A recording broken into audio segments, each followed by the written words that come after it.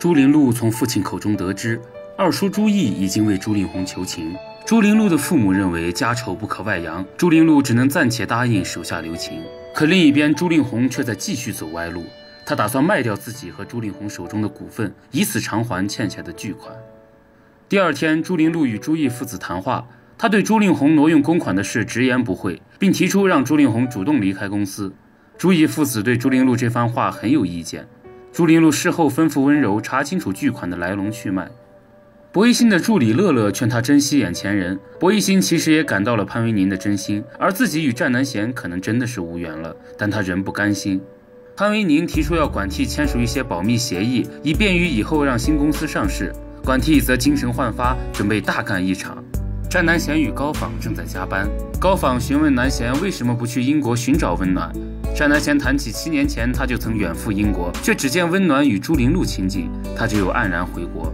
高仿便劝战南贤把一切误会解释清楚，但战南贤了解温暖的性子，知道此事只能要温暖自己想通。高仿理解南贤的决定，他忽然觉得有些胃痛，但还是一心扑在工作上。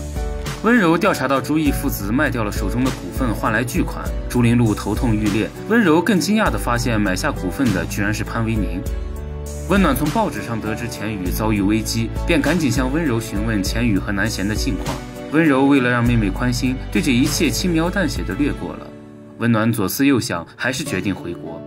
朱玲露在代中召开股东大会，这时却来了一个不速之客，那就是潘维宁。潘维宁得意洋洋地称自己是代中第二大股东，朱玲露也无可奈何。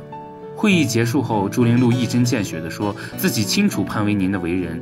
潘维宁见状也就直言，希望戴中和易仲以后能够双赢，但如果朱玲露翻脸，自己就会以利益为重。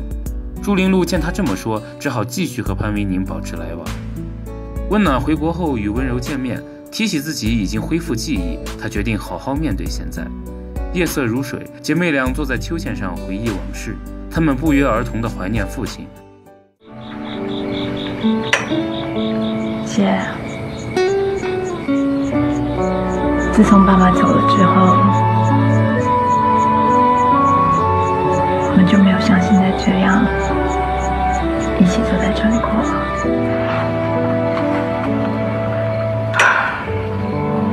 是啊。温柔宽慰妹妹，这一切其实与温暖无关。两人动容地拥抱在一起。潘维宁准备和战南贤单方面解约。张南贤看出潘维宁的野心，他警告潘维宁，不到最后还不知鹿死谁手。钱宇内高仿忽然晕倒在地，众人连忙把他送去医院。